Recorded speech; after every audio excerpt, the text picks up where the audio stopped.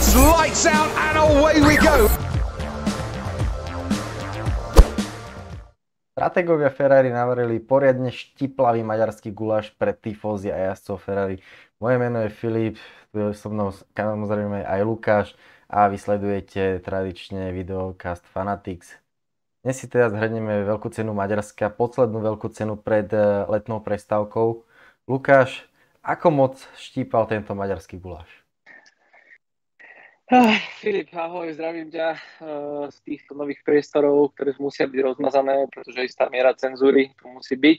Uh, myslím, že aj tento závod si pre nás, fanúšikov Ferrari, zas, zaslúžil istú mieru cenzúry a to najmä v momentoch, kedy sa strategovia Ferrari uh, a prosím, naozaj dajte do komentáru niekto, kto ocenil tento ich strategický move, tento ich strategický ťah, pretože asi, asi nikto naozaj nikto, okrem možno Matia Binota, ktorého asi uh, niekde v polke prenosu ten štiplavý guláš tiež začal štípať a musel odísť do, do útrop uh, pedoku. Nikto nevie, kam išiel, neviem, či sa vôbec k tomu vyjadril. Skrátka, m, už niekoľko dielov za sebou máme tradíciu hodnotiť závod tak, že o, samozrejme gratulujeme, aj v tomto prípade gratulujem Verstappenovi a tebe ako fanúšikovi Red Bullu. A tá tendencia hovoriť o tom, ako to Ferrari zase do, domrvilo, už nie je len tendenciou, ale proste mení sa to na tradíciu. A ja úprimne ani, ani nemám čo povedať k tomu, pretože ako, povedzte mi priatelia, ako, a Filip povedz mi, sa dá z pozície 2 a 3 po kvalifikácii skončiť, aby som bol presný, 4 a 6. Carlos Sainz 4 a 6. Hej? Ako sa to dá?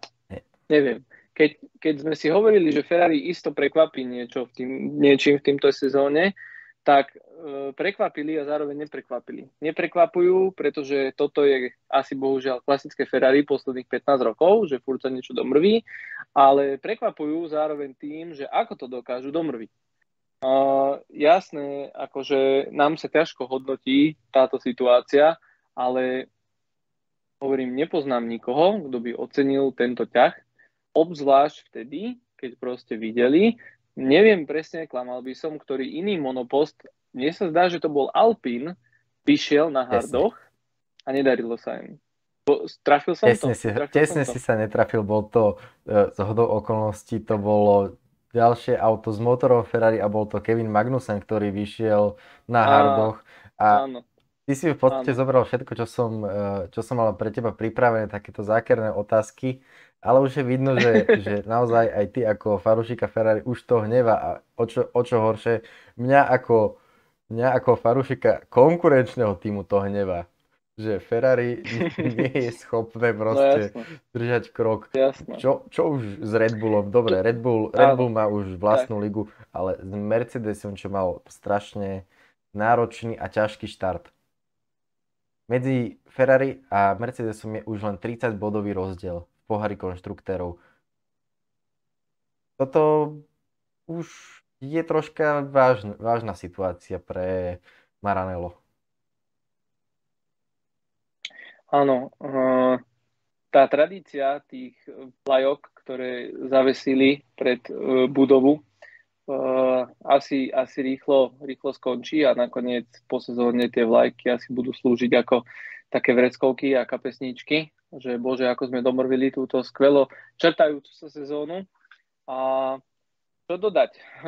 Naozaj, ak by sme mali ako jeden neznámy, známy, neznámy politik, ktorého prezývali Hranol, tak on mal také bingo, že keď mal tlačovku, tak isto povedal niečo z týchto, z týchto fráz a takisto aj my by sme si mohli spraviť také malé bingo, kde ja by som určite mal, že e, sezóna je maratón a nie šprint. A čo povedať, akože presne, aj ako si to ty povedal, že ako, fa, ako fanúšika konkurencie ťa to akože hnevá.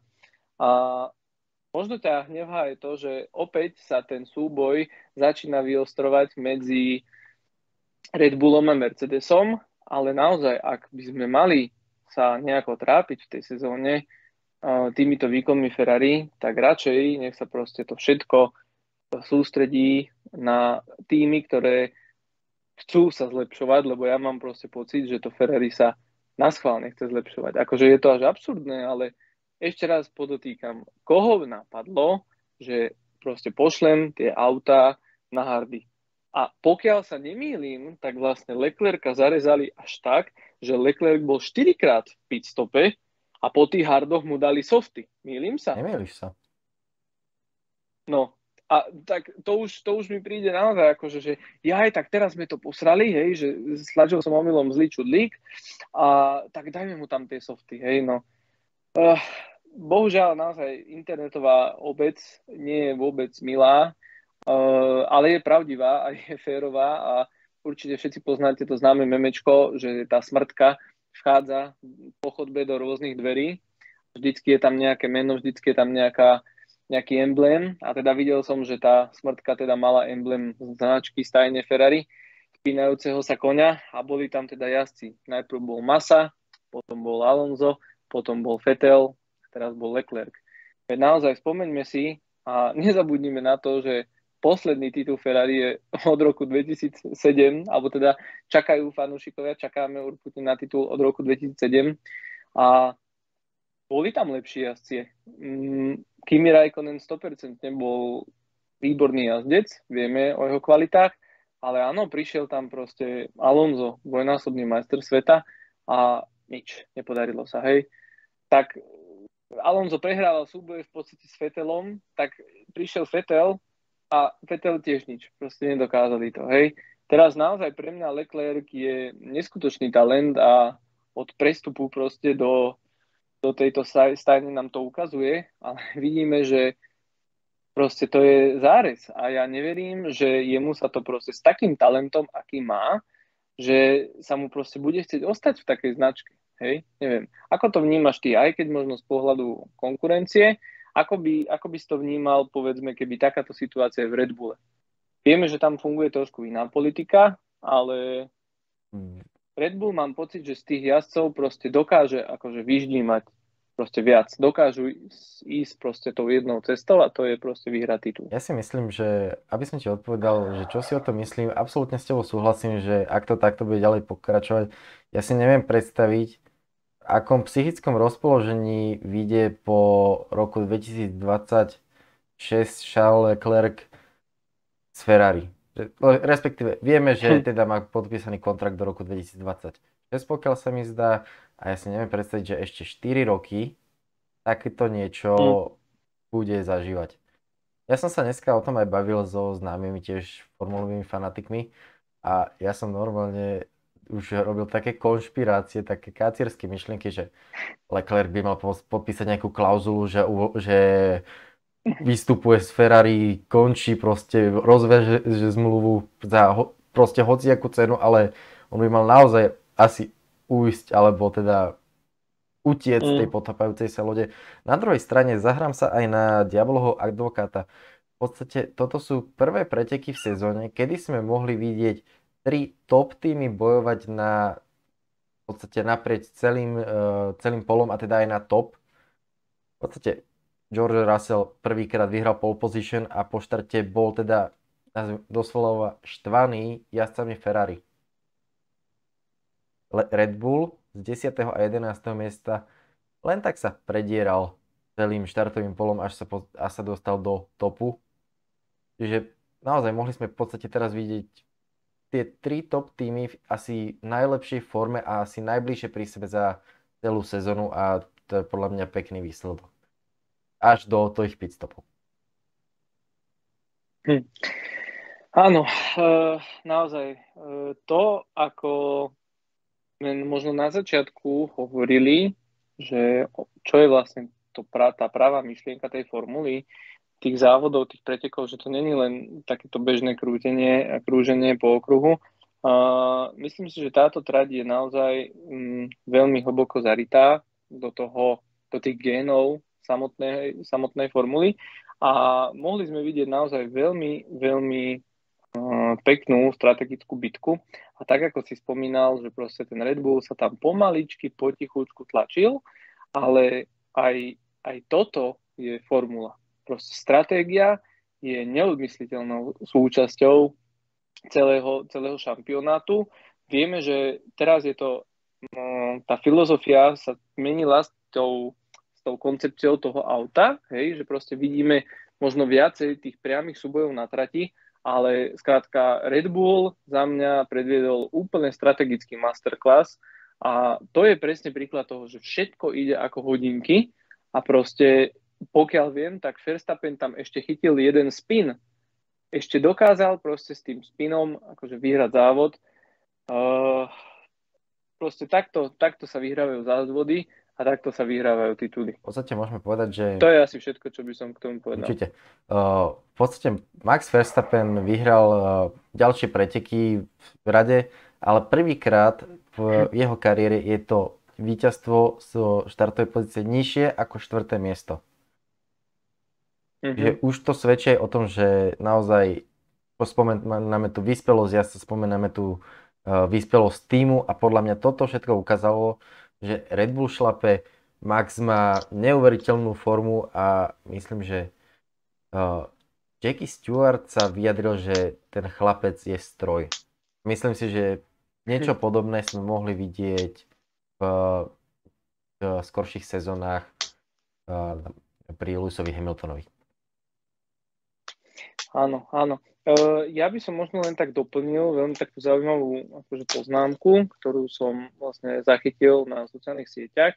Uh, neviem, či to bolo presne po tréningoch alebo po kvalifikácii, ale Helmut Marko uh, veľmi ostro kritizoval Sergia Pereza, že skrátka Maxovi akože nestíhal.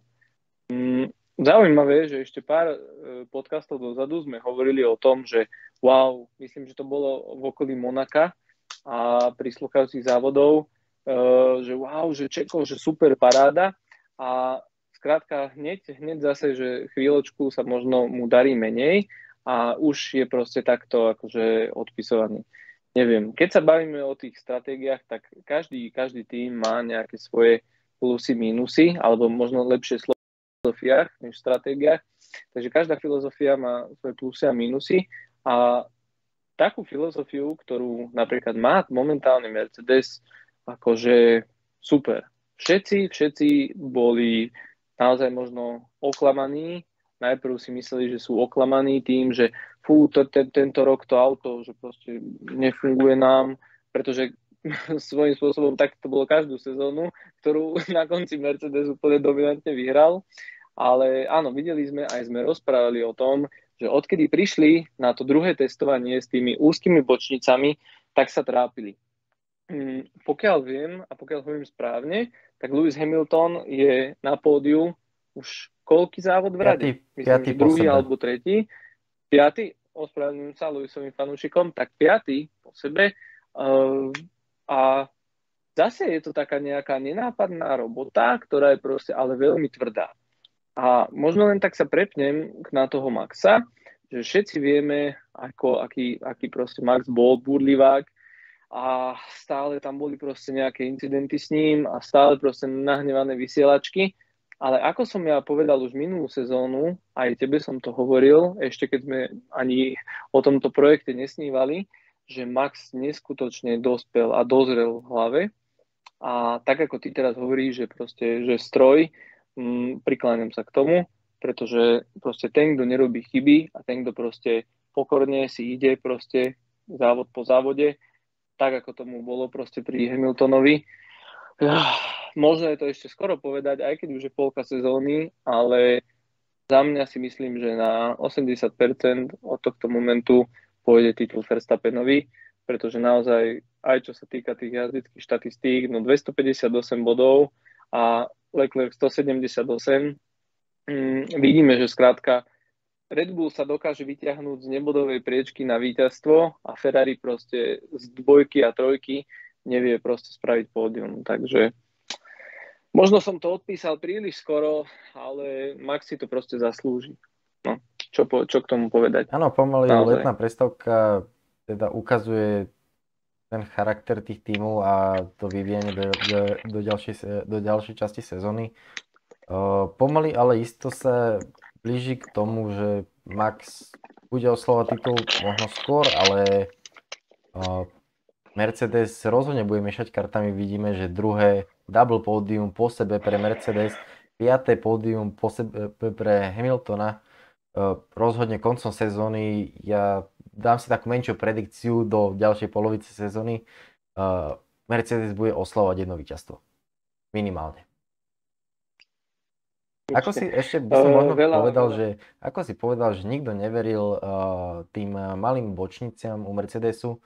Uh, presne, myslím, že to kľúčové slovo je viera. Že oni verili v to, že ono, ono to zafunguje a momentálne vidíme tú, tú prácu, ktorá na tom bola a toto je, te, toto je ich profit, toto je ten uh, zaslúžený koláč, ako by som to povedal v prenesenom zmysle. Keď sa však pozrieme na a, ďalšie budované pozície, 7 štandardne už asi osamotený jeden jediný McLaren, nikto iný ako Lando Norris. V podstate konštantné, konštantné výsledky pre, pre Landa Norrisa v podstate neustále buduje okolo toho 7. až 9. miesta. Ale vieme, že toto je v podstate tímový, e, tímový šport, ale nevidíme tu v podstate žiadneho tímového kolegu McLarene. Lukáš, milím sa? Áno, aj keď by sme boli najradšej, keby tomu tak nie je a skrátka tak charizmatická a tak významná postavička ako je Daniel Ricciardo uh, by tam trónil niekde s ním, ale presne ako hovoríš, o nejakej, o nejakej tímovosti tu veľmi ťažko môžeme hovoriť a všetci vieme, aké je veľmi dôležité pri tých bojoch opozície, či už v pohári konštruktérov, alebo aj v samotnom závode, mať tie dve auta a vedieť nejakým spôsobom rozdeliť stratégiu. Ako si hovoril, tak Lando Norris skončil na 7. mieste v tomto závode, ale symbolicky je teda aj na 7. mieste v pohári šampiónov a naozaj tam v podstate tá prvá šeska, je to podelené medzi Red Bullom, Ferrari a Mercedesom. No, čo je zaujímavé, je teda aj súboj McLarenu s Alpinom a túto samozrejme možno len malá odbočka, pretože naši fanúšikovia už isto vedia, aj keď sme sa dohodli, že o tejto téme budeme diskutovať v nasledujúcom videokaste, tak Alpin bude mať v podstate o jedného jazdca menej, alebo lepšie povedané, Fernando Alonso sa teda rozhodol opustiť Alpin do inej značky. A uvidíme, myslí si, že to samotnému týmu prospeje v takom tom väčšom obraze, že povedzme budú možno viacej bodoví, pretože vieme, ako teraz hovoríme, o tých pozíciách, že best of the rest, pretože práve najväčší konkurent McLarenu v tejto sezóne v pohári konštruktorov je Alpine. Uh, Alpine má 99 bodov, McLaren 95 a hovorím to preto, že mám taký pocit, že ten Lando tam zbiera tých 95 bodov a v Alpine proste na to idú dvaja. Hej? Presne tak, ako, presne ako hovoríš, Fernando Alonso hneď skončil za Norrisom, Esteban Ocon na 9. mieste za Alonsom. V podstate túto dvojicu môžeme vidieť kvázi v každých pretekov. Ja si nepamätám výsledok, kde by Alonso Ocon neskončili za sebou od veľkej ceny Kanady. A v podstate je to vidno, že naozaj, že Lando Norris sám bojuje za pohary konštruktérov a to isté v podstate môžeme povedať aj o Valtteri Bottasovi, ktorý je v pohári konštruktérov na 9. mieste. Joe Guan Yu opäť bez bodov a Valtteri Bottas opäť bez dokončenia pretekov. Alfa Romeo v podstate, ako sme hovorili na začiatku sezóny, keď to budeme brať aj takto ako také zhrnutie na polorok, eh, chválili sme tempo, ale naozaj tá spolahlivosť aut dosť kolíše. Ale Alfa Romeo v podstate patrí medzi auta, ktoré najviac vypadávajú aj hneď vedľa sú, je Ferrari. Vieš, kto najmeň, vieš, kto, mm. ktoré auta najviac dokončili preteky? No určite to budú Mercedesy, pretože to som chcel aj povedať, že ako sme sa rozprávali o tej pokornej robote, o tej strojovosti a o tej viere, tak netreba zabúdať, že tá viera sa opiera aj o nejaký že faktický základ. A ten faktický základ je to, že nemám tú znalosť, že by Mercedes vypadol po mechanickej chybe. To znamená, že tie stroje naozaj proste idú, fungujú a je veľká škoda, že taký napríklad Williams alebo Aston Martin, ktoré majú tieto pohonné jednotky, nevedia proste byť lepšie. A čo sa týka týchto továrenských tímov, alebo teda tých sponzorských tímov Ferrari, ako je Alfa Romeo a Haas, tak no, čo povedať, či Ferrari im dáva horšie motory, lepšie motory, také isté motory, tá spolahlivosť u Ferrari kolíše. Mm. Ale Ferrari celkovo Nedá sa. nie, Nedá nie je dosť spolahlivé, lebo ako sme spomenuli, Alfa Romeo s najviac vypadnutím e, v pretekoch a Ferrari hneď za nimi. Mm. Ale tam vieme, presne, že plán E, plán B, v podstate mohli by sme ísť celú abecedu, ale rozhodne nech, nechceme už robiť fanúšikom Ferrari ďalšie traumatické zážitky.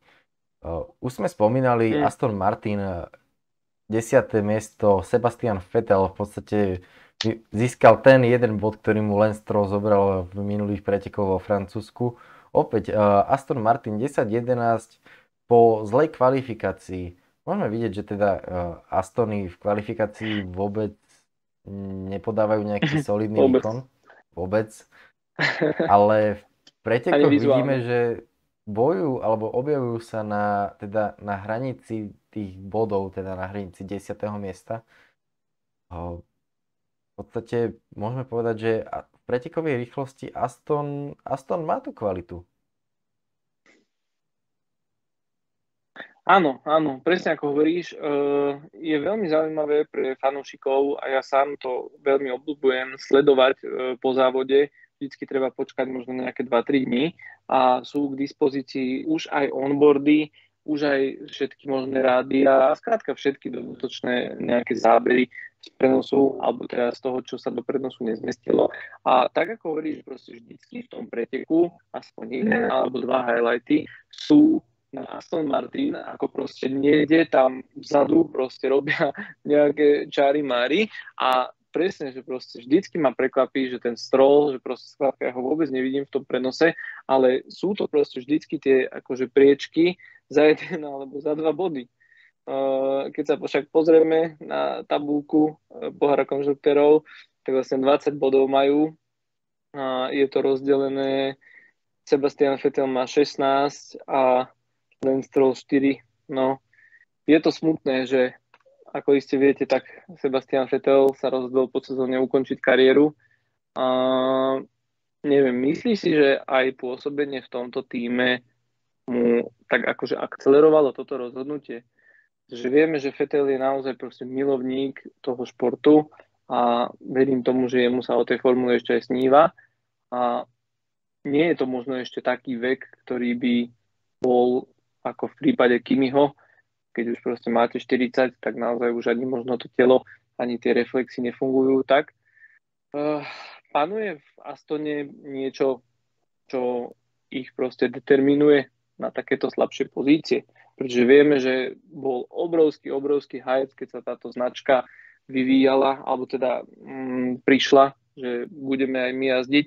Vieme, že stávajú tú najmodernejšiu motorovú továreň uh, v Anglicku, ale predsa proste tie výsledky neprichádzajú. Uh, ako si už povedal, Formula 1 nie je šprint, ale maratón a podľa mňa aj o budovaní značky samotnej je to podobne. A myslím si, že no, vieme, že sú vrcholy a pády, silnejšie a slabšie dni, silnejšie a slabšie roky. Po minulej sezóne troška sklamanie, samozrejme vieme, že Aston bol minulý rok o niečo lepší. Sebastian Vettel dokonca získal dve pódia. Teda, no, vieme, že pre, pred rokom v Maďarsku bol diskvalifikovaný, ale došiel na tom druhom mieste. Uh, či odišiel kvôli tomu, že je nejaká zlá situácia v továrni alebo teda v týme? Myslím si, že nie. Ako v podstate Sebastian Vettel je podľa mňa ten typ jazdca, ktorý vie kedy dosť. A podľa mňa došiel do bodu, že si uvedomil to, že trávil vyše 20, skoro 20 rokov v, v nejakom športe a obetoval tomu naozaj všetko a asi si uvedomil, že rodina je asi viac. On to aj, on, myslím, že aj v nejakom rozhovore povedal, že on vedel, že je tam ako tímová dvojka napriek jeho skúsenostiam, ale rozhodne je to jazdec kvalit, ktorý nie je na tímovú dvojku. Hmm. Uvidíme, ako ano, sa to bude dariť uh, Fernandovi Alonso. Tak, tak. Toto je myslím si, že naozaj veľmi veľká téma, ktorú si, ako som spomínal, si necháme na ďalší videokast. Ja možno len by som doplnil nielen z takého sentimentu, keďže aj ja môžem povedať, že naozaj Fetelovi som fandil a patrí mu isto mm, veľká levia porcia na tom, kde ten šport je teraz. A je to veľká škoda, že ten tým nebol viacej vystavaný okolo neho. E, na druhej strane som však počul, že mal v jednom rozhovore údajne povedať, že už pripravujeme auto na budúcu sezónu, čiže ako svojím spôsobom naozaj on ešte niekde, niekde v tom manažmente e, toho týmu ostane niekde na úzadí a môže pretaviť akože tie svoje skúsenosti do toho, ale oh, je to smutné, že skrátka v tom týme sú a možno aj v tomto celom športe sú peniaze až na prvom mieste a určite si zaslúžil jednak aj krajší odchod z Ferrari a všetci fanúšikovia dúfali, že ešte ho raz uvidia ako majstra sveta práve, práve v červenom. Mm, zelená nevyšla, no uvidíme, uvidíme. Fernando Alonso na druhej strane ten naozaj no, neprestáva udivovať, neprestáva čarovať a tak ako si povedal, uvidíme, ako sa mu bude dariť. Myslím si, že ešte za zmienku celej tejto veľkej cene by som spomenul, že Nikolas Latifi, dámy a páni, v treťom tréningu skončil prvý. A ja som známy tým, že sa veľmi viem natchnúť proste nad úplnými hlúpostiami. A nadchol som sa, ale teda nebral som to ako hlúposť, pretože skrátka vidieť Latifiho na prvom mieste uh, bolo to čarovné, neviem ako si to vnímal ty. Uh, myslím, že aj sám Latifi, keď pozeral na ten monitor, keď na neho bol záber, tak pozeral, že proste OK, že tak teraz som prvý a tak len pozeral do kamery, že a to asi, to asi tak celkovo môžeme tým zhrnúť výkon Williamsu a asi aj zatiaľ, bohužiaľ v tejto sezóne, pretože Albon bol tretí ešte v treťom tréningu. Šialené, no. Williams, bohužiaľ ako značka, áno, ale túto sezónu myslím si, že už, už tam asi toho veľa nenavaria, toho gulášu. Uvidíme. No, guláš je zjedený, veľká letná prestávka pred nami. Opre, po troch týždňoch sa objaví jednotka na tradičnom okruhu v Belgicku. Uvidíme, s akými prestupmi jednotka príde a hlavne uh, majú sa zaviesť nové regule, ktoré sme už vlastne riešili po veľkej cene Azerbajdžanu, kedy vlastne FIA povedala, že začne riešiť uh, naskakovanie, už známy porpoising, jedno zo, z veľmi omielaných slov túto sezónu. Takže som zvedavý, ako vlastne zavedú túto technickú regulu ohľadom propoisingu. Aj keď myslím si, že ohľadom tejto témy už v podstate sa všetko povedalo a nejak to pretriaslo. Už to nie je nejaká hlavná ano. téma. Každopádne... Áno, presne ako hovoríš, že stíchlo to, prepáč, stíchlo to. Uh, vieme, že proste vždycky počas sezóny sa okrem tej športovej časti uh, objavuje nejaká tá politická časť. Vieme, ako to chodí, hej, proste skrátka niekto povie, že o, áno, je to problém bezpečnosti, druhá strana hneď povie, že ale vy len lobujete proste, aby ste si mohli podľa toho prispôsobiť auto. Uh, nevieme si ešte asi v praxi predstaviť a možno ani oni sami, uh, ako, ako sa toto, uh, táto hodnoty budú merať, alebo ako sa to bude regulovať. Skrátka my z nášho pohľadu chceme vidieť stále, stále proste tie skvelé a hlavne fair, bezpečné závody a fér aj v tom zmysle, že nechceme, aby proste zrazu nejaký tým mal nejakú obrovskú výhodu alebo nevýhodu. Skrátka, to, čo sa, ja si myslím a zastám ten názor, že to, čo sa postaví na začiatku sezóny, skrátka, musí to tak byť, hej. Je to tvrdé, ale vidíte, Mercedes postavil auto, ktoré proste bolo neovládateľné a teraz robí pódia.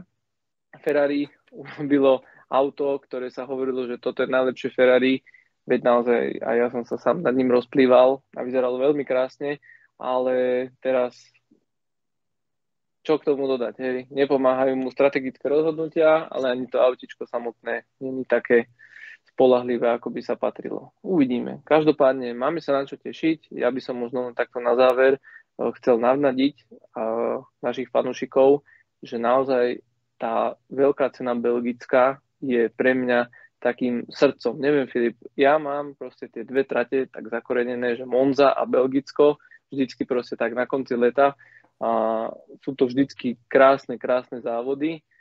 A uvidíme, som veľmi zvedavý, pokiaľ sa nemýlim, tak boli tam aj nejaké traťové zmeny. Vieme, že tam bola zákruta a teraz mi povedz, čo je správne, či Orúš alebo Radilion, ako to mám správne povedať. No a teraz si ma dostal. Skrátka, áno, skrátka budeme to volať zákruta, ktorá je veľmi veľká, široká a hlavne strmá je, je, to, je to naozaj skoro pod plným plynom, myslím, že tam ide cez 300 km v, pre, prevýšení, no netrúfam si, ale je to určite viac ako 15%. Som veľmi zvedavý, ako tie nové monoposty sa budú chovať uh, práve na tomto úseku a netrúfam si povedať, vieme, že Belgicko je veľmi rýchla trať, naozaj, takže ten výkon Red Bullu na rovinkách, ktorý proste majú teraz, im asi bude sedieť Uh, bojím sa, že keď Ferrari uh, by nastavilo ten motor na vysokú maximálku, tak by sme videli asi niečo v Azerbajdžane. No a uvidíme, ako, ako trať sadne Mercedesu. Uh, George Russell, minulý závod vlastne k, v obrovskom daždi, tu ukoristil takmer pole position, ak si spomínaš. No a ja som teda zvedavý, či uvidíme dážď, alebo sa bude pretekať pod slniečkom v Ardenských horách. Uvidíme, ale budeme si na to musieť počkať nekonečné 3 týždne. Každopádne ďakujeme vám, že ste si pozreli tento videokast. Určite sledujte naše sociálne siete, kde počas tejto letnej prestávky určite budeme pridávať zaujímavý obsah, taktiež budeme da- e, sa venovať rôznym témam, či už ohľadom prestupu, alebo ohľadom iných aktualít zo, zo sveta Formuly 1. Lukáš, v podstate šachovnicová vlajka už veje, stačí už sa asi len rozlúčiť, čo ty na to? Som za, naozaj máme za sebou krásny diel, krásne závody, poďme si všetci užiť ešte to augustové slniečko a o tie tri nekonečné týždne sa vidíme znovu a počujeme znovu v našom videokaste. Takže moje meno je Lukáš, za druhou kamerou Filip, ďakujem ti, že toto takto všetko manažuješ pretože naozaj diváci to, čo vidíte, je všetko Filipová robota a ja sa pri ňom len tak nejako vezem. Takže ďakujem a čaute všetci, dobrú noc. Čaute.